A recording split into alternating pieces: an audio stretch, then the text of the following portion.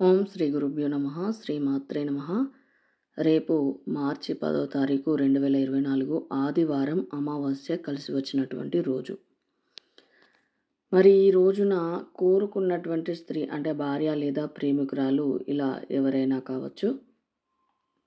ఆ యొక్క స్త్రీ మీకు అనుకూలంగా లేకపోయినా మీరు చెప్పినట్టు మీకు మాట వింటూ మీతో అన్యోన్యంగా లేనట్టయితే ఆ యొక్క స్త్రీ గనక మీకు దూరం పెట్టినట్లయితే కోరుకున్నటువంటి స్త్రీని మీరు తిరిగి పొందాలి అంటే దగ్గర చేసుకోవాలి అంటే ఈ తంత్రం బాగా పనిచేస్తుంది. మరి ఇది చాలా రకాలుగా విధానాలుగా చెప్పి కూడా ఉన్నాము. మరి ప్రత్యేకించి రేపు ఆదివారం అమావాస్య కలిసి వచ్చిన రోజు చేయవలసినటువంటిది. ఆదివారం అమావాస్య కలిసినటువంటిది చాలా అరుదుగా వస్తుంది రోజు. కాబట్టి కోరుకున్నటువంటి స్త్రీ గురించి ఏ పురుషుడైతే ఈ యొక్క తంత్రాన్ని ఆచరిస్తారో ఆ యొక్క పురుషుడికి స్త్రీ జీవితాంతం వశమై ఉంటుంది.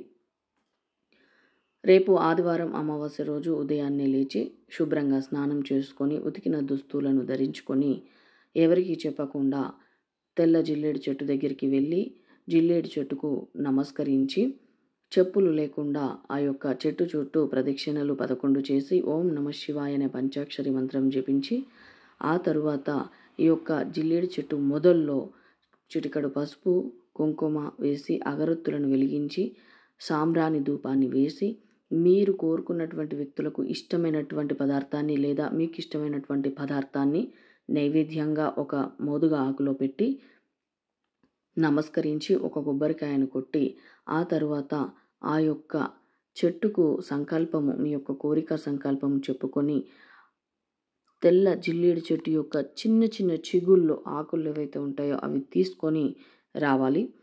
తీసుకొని వచ్చి అవి దగ్గర పెట్టుకోండి. ఏ రోజైతే మీరు కోరుకున్నటువంటి స్త్రీ కనిపిస్తుందో ఆ యొక్క స్త్రీని మీరు కలవటం కానీ లేదంటే తను దగ్గర వెళ్ళటం కానీ జరుగుతుందో ఆ యొక్క రోజున ఆ స్త్రీకి తెలియకుండా తన తల మీద గనుక ఈ యొక్క లేత చిగుళ్ళను గనుక వదిలినట్లయితే ఆ యొక్క స్త్రీ జీవితాంతము మీకు వశభూతురాలై ఉంటుంది.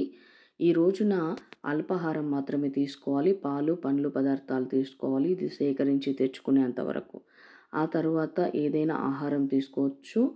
మద్యపానం ధూమపానము మాంసాహారం తప్ప. కాబట్టి ఈ విధంగా తెచ్చినటువంటి చిగుళ్ళను ఏదైనా ఒక పాలిథిన్ కవర్లో పెట్టి మీరు ఫ్రిడ్జ్లో కనుక భద్రపరిచి ఉంచుకున్నట్టయితే ఎక్కువ రోజులు కూడా తాజాగా ఉంటుంది. ఆ యొక్క ఆకు ఎండకుండా చిగుళ్ళు చక్కగా ఉంటాయి.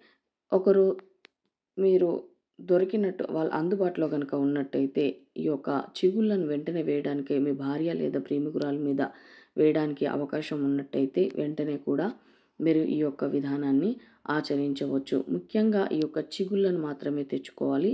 ఈ చిగుళ్ళను మాత్రమే ఆ యొక్క స్త్రీ తలపైన వేయాలి. దీనికి ఎటువంటి మంత్రము కూడా లేదు. మీ చేయితో ఈ యొక్క చిగుళ్ళను వేస్తే చాలు.